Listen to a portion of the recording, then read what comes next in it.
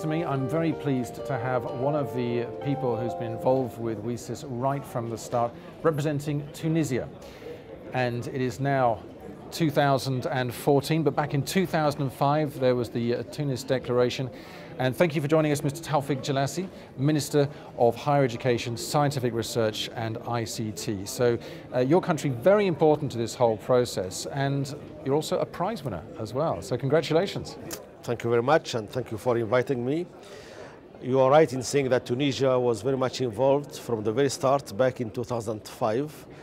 I was honored to be part of the official Tunisian delegation at that event. And uh, you mentioned the prize that uh, we are getting this morning here in Geneva, uh, granted by the ITU. Uh, we are honored to receive this prize. It's a recognition of a major event that we put in place subsequent to the November 2005 event.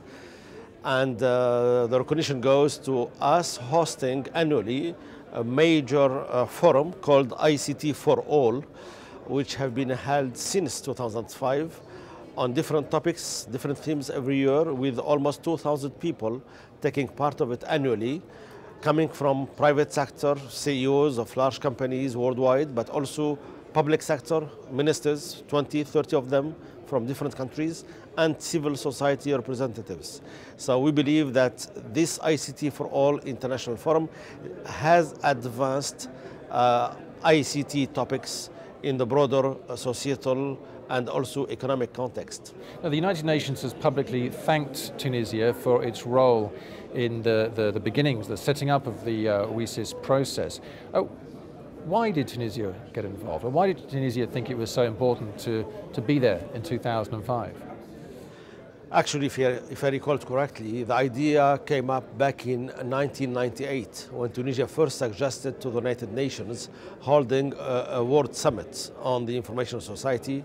Uh, clearly, since the late 90s, we saw the emergence of computers, of uh, digital content affecting society at large, and it was that vision then uh, uh, that led Tunisia to suggest that the United Nations bring key decision makers together for such an event.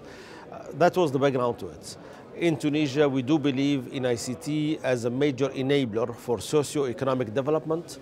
The government I belong to uh, firmly believes in that. Our Prime Minister is a strong supporter of pushing IT across all sectors of society, of the economy, with the aim of turning Tunisia, hopefully, into a major ICT hub for the Maghreb, for the MENA region, for sub-Saharan Africa. We believe that we can make it hopefully in the coming years, uh, internationally speaking, but also making Tunisia an enabler to create jobs, to push innovation, uh, to, to, to move to the digital economy, whether it is tourism, health, education, commerce, and other sectors, of course, of the economy. There have been, of course, big political and societal changes in Tunisia since 2005, but is the focus still the same? I would say the focus has even increased. Uh, I mentioned the new government that came to power this past January.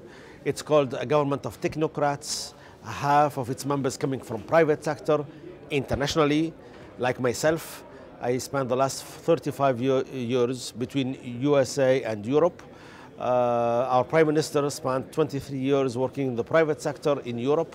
So we bring in best practices from uh, the international scene, but also deep knowledge of, uh, of, of uh, good you know, processes and how to create value that hopefully will be lasting. So it is the mix of my colleagues from within Tunisia, my colleagues from outside of Tunisia.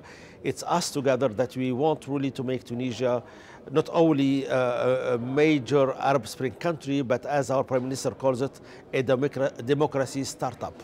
It's a startup, it's new on its democratic path, but it's a democracy that we are determined to make it succeed and recognized as a major success story on a world stage. And ICT is one of the pillars in that transformation that we want for our society in Tunisia and for our national economy.